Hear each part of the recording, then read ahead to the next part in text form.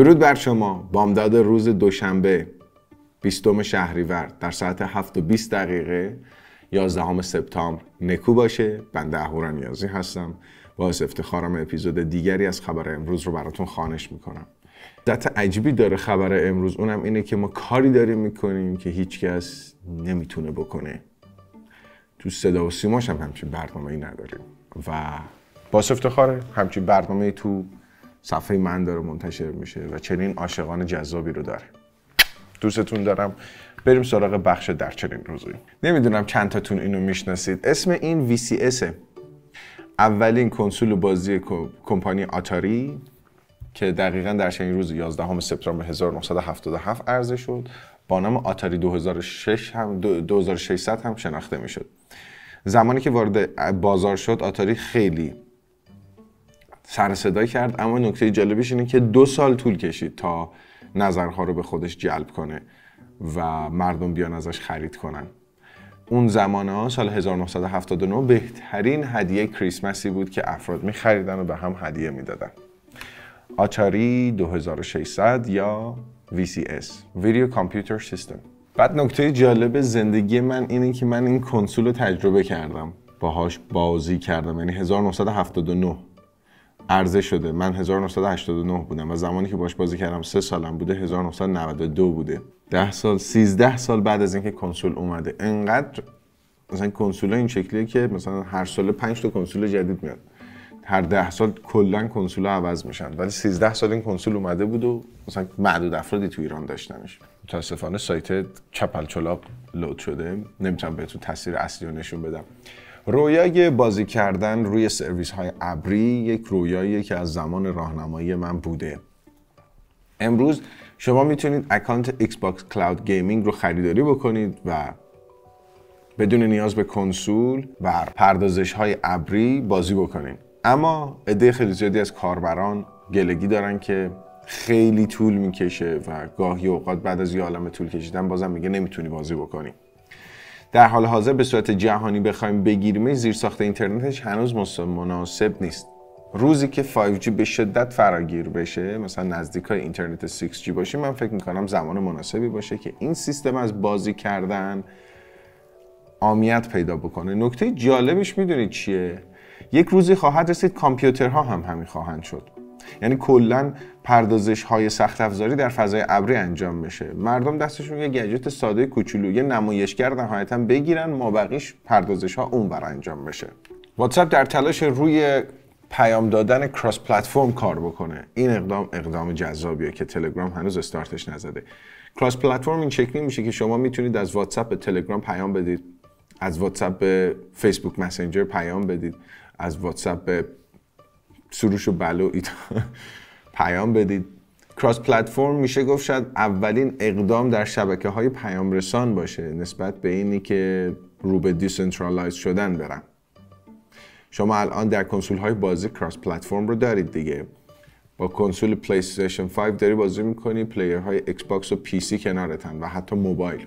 دیروز هم خبرش کار کردیم. Galaxy 54 update اندروید 14 و 6 رو. در انگلستان دریافت کرده. البته که نسخه آزمایشی بتاه نه نسخه public.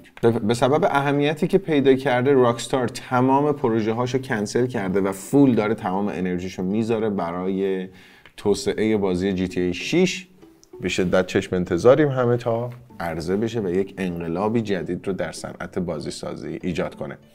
خفن بودن در کار خودت یه ایرادی داره و اونم اینه که مردم ازت انتظار دارن. مردم از راکستار انتظار دارن کنسول بازی بعدیشون سر و سر نوآوری باشه.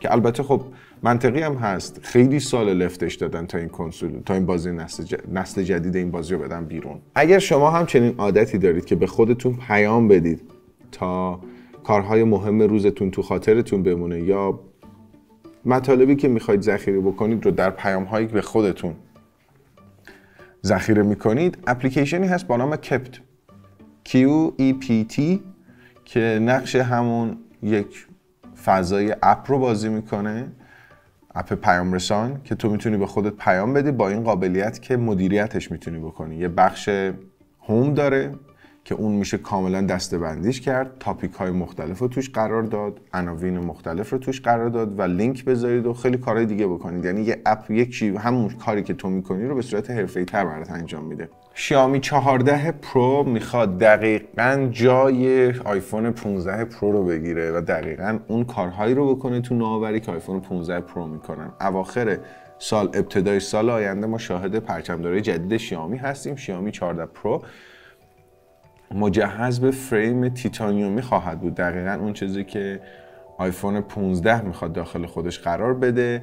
نوع نمایشگر فریم پنل پشتی تغییر خواهد کرد تا ببینیم چه کار می‌کنن. نگاه کنین روزی که خبر امروز جذاب نیست تو گجت نیوز هم خبر خاصی نیست چون در سراسر جهان خبر خاصی پیدا نمیشه. محقق جنجالی هلندی زلزله شدید مراکش را پیش بینی کرده بود.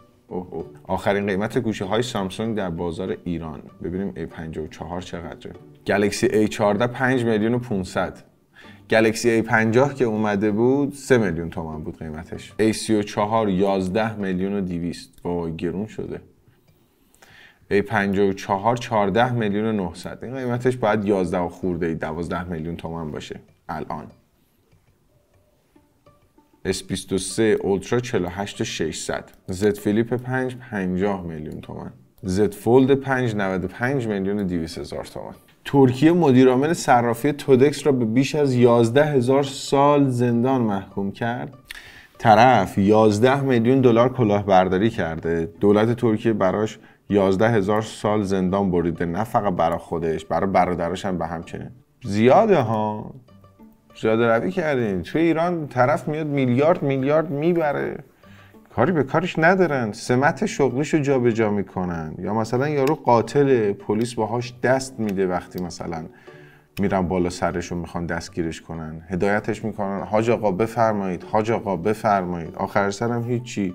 کسی به کارش نداره. ولی مثلا نیک یوسفی بنده خدا رو مثلا نیک یوسفی چرا؟ سعید روستایی سعید روستایی بنده خدا رو میان می‌برن. داستان مراش درست می‌کنن. و بیاین ایران زندگی کنیم. جا جای خلافکاراست. مرکز پژوهش های مجلس وزارت ارتباطات و اقتصاد برای حل چالش های دریافت عوارض از بازی های ویدیویی با وزارت ارشاد همکاری کنند میگه که بعد از بازی های خارجی مالیات بگیریم. از کنسولشون که وارد بازار میشه مالیات بگیریم. خوبه. از عمه منم مالیات بگیریم. آیفون 15 یک گرم سبکتر از آیفون 14 یک هواپیمای برقی سرنشیندار برای اولین بار با سوخت هیدروژن مایع پرواز کرد. او او چه توییتی.